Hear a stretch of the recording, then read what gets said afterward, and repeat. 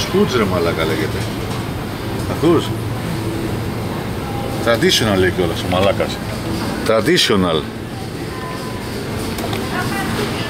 Να ξέρεις σου λέει τα χαρακτηριστικά, βλέπεις εδώ; Τα έχει καλύψει βέβαια με, το, με τα ταλανδέζικα και δεν βλέπουμε. Τι είναι; Traditional. Εδώ, goats.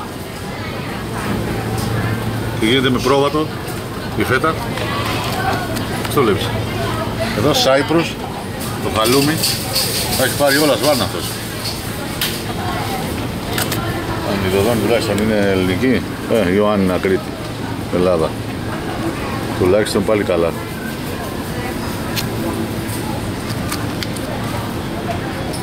Ξεφύλλα ρε μαλάκα. Βάλει και το όνομα αυτός. Mediterranean Lifestyle ο Αυστραλός. ε, εδώ, κοίτα εδώ. Φέτα ρε μαλάκα, εδώ. Ξεφτύλα, ε. Καρολίνα. Που πού είναι αυτή; Ελλην... Ταϊλανδέζικο ρε μάλα, απίστευτο ε. Δεν σε έχουν πρόβατα οι Ταϊλανδοί. Από Thai Fresh Milk, δεν σου λέει από τη, από τη ζώο. Απίστευτο. Πω, πω, ξεφτύλα. Πού είναι αυτό; Εδώ άλλο εδώ. Εδώ κοίτα. Φέτα, άρλα.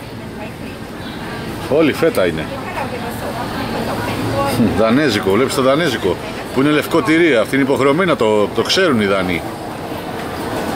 Αυστράλια βέβαια από εδώ.